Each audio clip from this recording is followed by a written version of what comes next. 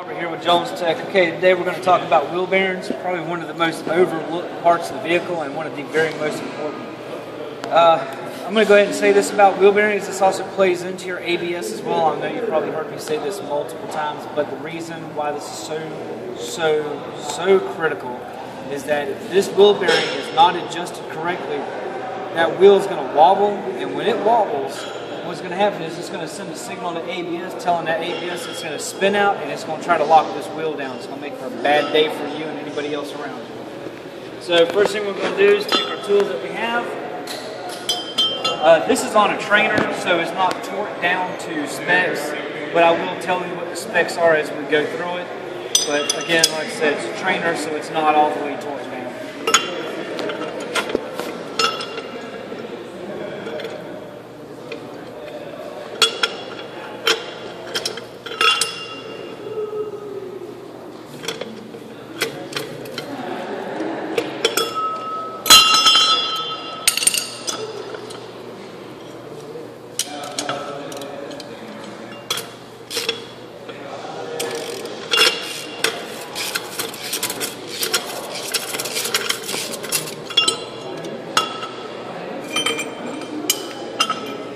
There's your jam nut.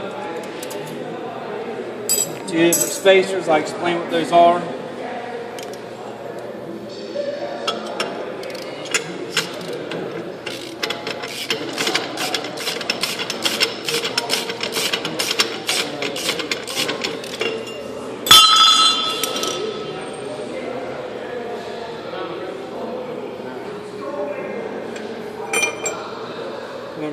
Over here. All right, so this this is your bearing. This is very important. Uh, this is important uh, safety uh, note right now. You don't want to touch this tire without none of these lock nuts on here. If I do that, the tire is going to fall uh, forward and it's going to this this is going to come out. Catch your finger, it's going to hurt. Anyways, this is your main bearing right here.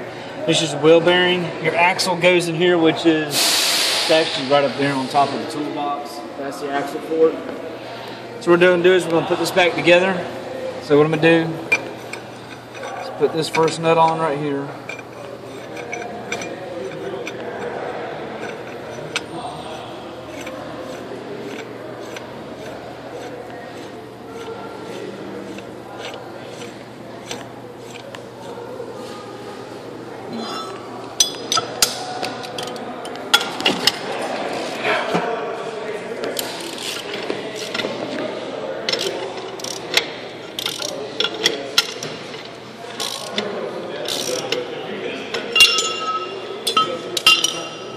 So what we would do at this point is this would be our first torque.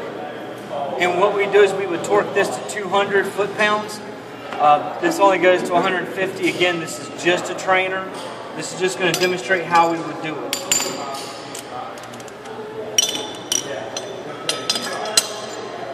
Take a torque wrench. Now, even though I'm not using the correct torque specs, the um, procedure is still the same. So spin the wheel, because what you're doing now is you would be seating your new your new uh, your new bearing.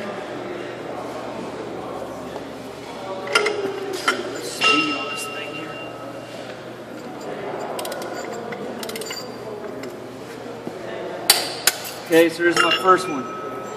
Now, that would that would have been my 200 mark. As soon as you get your first one, that would have seated it. Now, for the second part of the procedure, is you want to back it off one full turn.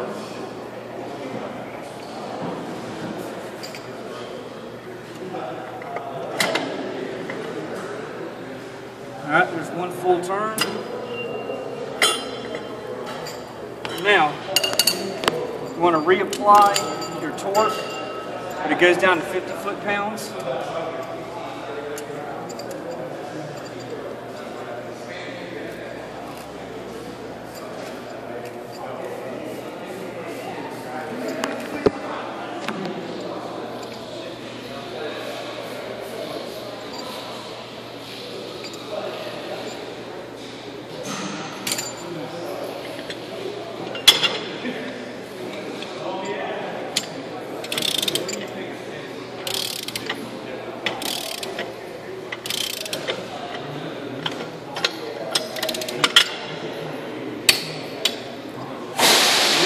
Here,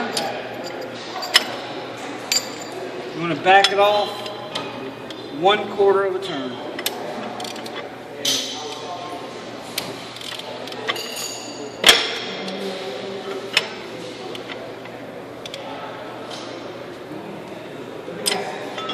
Alright. Now that we have that on your spindle shaft, check the teeth. Make sure to, well, you do this before, but you want to make sure your threads are good. Here's a channel.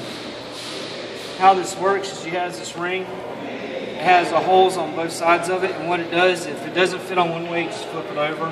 There's a there's a, a tip sticking out of the, the nut here that will allow it to make contact.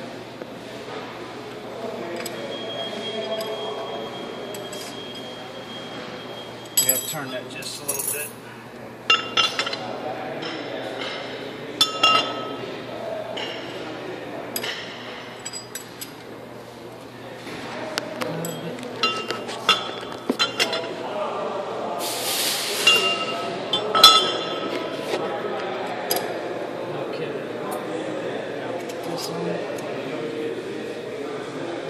Then you would take your jam nut, this is the last one.